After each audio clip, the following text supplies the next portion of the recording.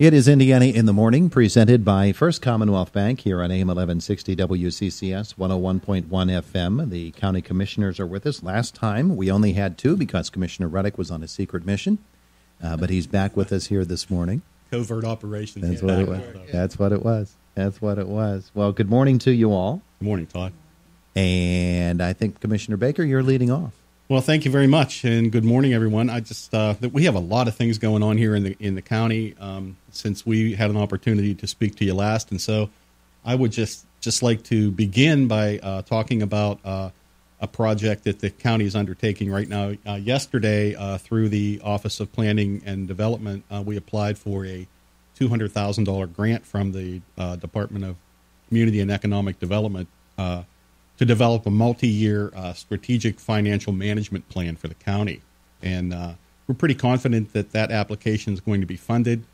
It's going to help us to plan for the financial stability of the county by doing things like uh, helping us find ways to reduce spending, uh, identify ways to enhance uh, revenues, and support the long-term community and economic development, best management practices and even some ways to work cooper- cooperatively with some other levels of government, uh, state and federal, and perhaps even uh, with other counties through cooperative purchase purchasing and sharing of uh, resources and other methodologies. So mm-hmm. we're looking forward to developing a three to five year plan that will help us to uh, keep the county on a good financial uh, stable basis. Is that a state grant you're going for? It's a D- DCED grant. DCED. Yeah, yeah. Okay. All right, um, and and obviously, when you decide to go after that, you probably have it within your minds already uh, the sorts of things that you want that grant to cover. You'd have to have that in order just to get the paperwork filed. Uh, so uh, already the planning has begun for the planning. Well, you're right, Todd. In fact, uh, Byron Stauffer has taken the lead in uh, submitting the request, and he always uh, goes into detail exactly what you're talking about sort of setting it up for us so that we know exactly how we're going to move forward. Th- this is something that we have done in the past, but this is a more organized uh, way of doing business and a- asking for outside uh, assistance and making sure we're doing all the right things mm-hmm. financially. Mm-hmm. Um, one of the things that always impresses me about the job that a county commissioner takes on is that uh, you all come from various backgrounds. Some in some mm-hmm. counties are are professional people who have done administrative type work all their lives. Others are not. Mm-hmm. They just don't have that experience. And yet you're expected to step in and be up and running right away with expertise on every issue. You need professional people to help you like this. Absolutely. Yeah. Okay. Yeah, and I would uh, just add we we've been really busy with uh, meetings over the last month, actually, um, and we've been focusing a lot of our attention um, while we're talking about strategic planning for finances, we're also looking at strategic planning for what are the programs that we want to support and prioritize for Indiana County over the next four or five years. Mm-hmm. And so we have met uh, with a number of groups uh, to at least identify what those projects may look like so that when we sit down and talk to our legislative leaders, our congressional leaders, we're all on the same page and we're all talking about the same focal issues and we've put together, I think, a pretty a pretty nice list of targeted items that we've already uh, met uh, with uh, Senator Toomey's office and talked about those priorities, and we're preparing now to go to Washington D.C., um, uh, organized uh, through the chamber, to meet with Congressman Shuster and talk about the priorities that, that we have. So and that's a sensible way of doing business. And we've done that for years. And we always get the response from when we meet with those legislative leaders thank you for having a common voice. Mm-hmm. And, and, there's some projects I just thought I would uh, let the individuals of Indiana County know what, what we're looking at. And I have to be careful, for some of these are, are a little bit more detailed. I don't want to go into the detail, but I can tell you that uh, we have uh, some priorities that involve IUP uh, in some of their initiatives that they're looking at, maybe to increase their capability for federal training, which would encourage um, federal resources to come into Indiana County. So we're gonna we're gonna focus that as a as a key uh, objective for Indiana County.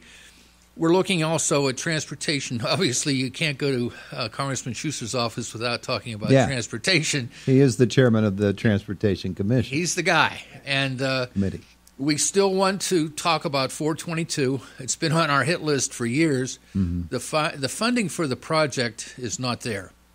It needs to be there. Uh, the lifeblood for us to get to the uh, chemical petrol can- uh, uh, plant in uh, Lawrence County uh, as part of that surge, we need to have that that route opened up uh, into at least a three lane and maybe four lane. So we need to work on that particular project. We're also looking at the continuation of improving our infrastructure in Indiana County. And while that has been in the past water, sewer, and stormwater, we are continuing our effort um, to talk about fiber optics for Indiana County. And it's amazing. Everyone we talk to would admit this is something that needs to be done, yet no one mm-hmm. wants to take the leadership role at the state or the federal government to assist counties and states like Pennsylvania with rural connectivity to do something to get it done. And uh, I'm sure Sherene might mention a, a, meeting that we had also uh, regarding that very same topic. So we're hammering that issue out just about with everyone we talk to. And we're also talking about uh, what's happening with the uh, Central Allegheny Challenge Learning Center and uh, th- that expansion uh, in cooperation with Westmoreland Community College and IUP. Uh-huh. And the last item is an issue that our municipalities will have to deal with if, if it goes through, and certainly Indiana County will be hurt by it, and that is uh, federal government's position to do away with the community development block grant dollars. Mm. And this is a massive amount of money that's made available uh, to to the states uh, that help municipalities move forward with some of the projects they can't otherwise afford. Yeah. Uh, so those are the issues on our plate. Uh, we're going to move forward on those and continue to uh, let Indiana County be the first on the list. So that's our plan. Yeah, it doesn't sound like a whole lot. it's, you know, it's funny. I was talking to a guy riding in an elevator over at IRMC one day last winter, and, and he said to me, uh, he was from Nevada. And he said, It amazes me, he says, that around here, he says, and all over this state, he says, You're still using telephone poles. he says, We don't have those out there. Everything's underground now. Uh, said, I said, Well, yes, we are, by golly. We're, we're, we're a bygone era. but we hope we're not too bygone. We're getting there. Or bypassed. Yeah.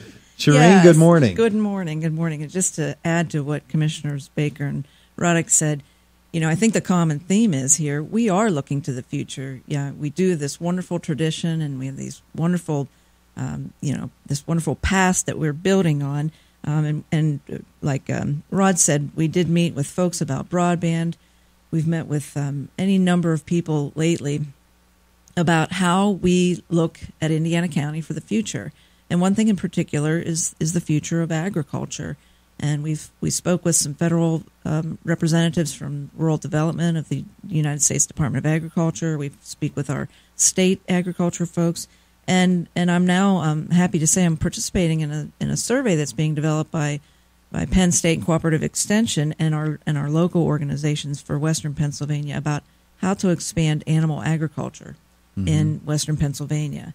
Uh, we want our ag uh, community, and I'm I'm on this advisory in this capacity as a you know an elected official. There are many many practitioners and and experts with technical assistance involved in that, but I think this is going to be uh, very meaningful for Indiana and the other other uh, counties surrounding. We want our farming community, our agricultural community to know that their their leaders do really care about what happens in agriculture um, we we've got a great past and we're looking towards the future. You know, we and we are ready to take action, and we're you know just like everything else, we we are we don't work alone. We don't work in a vacuum. We work with every county around us, uh, within the state, within the region, within the federal government as well. Yeah, it's interesting. You know, agriculture as an industry is so important yeah. to Pennsylvania, but it is shrinking. And it's awful difficult for a farmer to make a go of it. It really is. Yeah. But there's there are new techniques in mm-hmm. agriculture, and and uh, you know we've got folks who are really open to it and doing it here in Indiana County. We want to we want to widen that, make that a, a more a broader uh, opportunity for other and, and new farmers too. You know, I hear young people and I see young people getting into farming. They have a different outlook on mm-hmm. farming, but we need that. We need those um, ideas and and the the um, the expertise from the folks who've been in it for decades and decades. Yeah. yeah can't let that resource go away. No, it's yeah. it's part of our infrastructure. Really, mm-hmm. think yeah. about it. Absolutely. All right. One, one of the uh, uh, items I think maybe uh, Commissioner Baker can talk a little bit about with, with CYS, but I, I had the opportunity yesterday to spend the full day over at the CYS office with uh, Sarah Ross and all of the caseworkers uh, who were there. Went out on a couple of trips uh, with the caseworkers to at least get a feel for some of the dynamics they experience when they're out in the field, and and that was quite a, an experience for me as well. And sat down and looked at the mammoth amount of paperwork that needs to be followed um, to protect the rights of uh, our, our young kids who are abused. Mm-hmm. And uh, I'm impressed by the people who work in that particular office. And uh, visiting that office uh, reminds me of how important it is to, to make a change to benefit those who really step step out uh, to reach out to those families in need. And and I know that we're working on a project, and I, I, think Commissioner Baker probably has a little bit more detail on that than I have right now. Well, thanks, Rod. Yeah, I, um, I think uh, we kind of sometimes forget, we kind of undervalue or don't realize the the uh, scope of the work and the dedication that our caseworkers and their supervisors and so on at CYS uh, put into their jobs. But I just want to make everyone aware that uh, we're we're working on a plan uh, to relocate the Office of Children and Youth Services from its current building over on North 4th Street over to uh, uh, a facility that's owned by the Indiana uh, County Development Corporation on Indian Springs Road. Um, as you may know, um, the volume of services that are provided by CYS offices across the Commonwealth in recent uh, years has just increased astronomically, and our agency here in Indiana County has truly outgrown its available space, and so uh, we have some loose ends to tie up on on that particular uh, move. But uh, I would suspect that uh, after uh, ironing those things out, we'll be ready here in uh, in late spring, perhaps a very early summer, to mm-hmm. move those offices to a place where it'll be more secure. There'll be more parking, more space, and it'll just be a safer and better place for for our caseworkers and, and our staff to, to work. Yeah. Workers within that industry, and particularly in rural counties such as ours, it's an easy job to burn out on. Yeah. Uh, and we certainly don't want, yeah. want uh, those people to be lacking for resources. Well, we're about out of time here in this hour. Thank you so much, all, for coming in to visit with us. Thank you. Thank you. Thank you, Thank you Todd. And uh, we're going to have to get Byron in here very soon yeah. and, and talk about uh, some of the various issues that we've touched on here. If you want morning. to talk to Byron about everything that he's doing, you better put an hour aside. he's got a lot going on. That's a full plate, I guarantee you. I, I wrote to him or, or a week or so ago, and I, I said, We really need to get you in here. And he said, Yeah, uh, he's got a lot to cover. He, he, and he's, he's in the process of covering it. It is Indiana in the morning, presented as always by First Commonwealth Bank here on AM 1160 WCCS and 101.1 FM Fox News. Up next, Josh Woodison in the newsroom after that.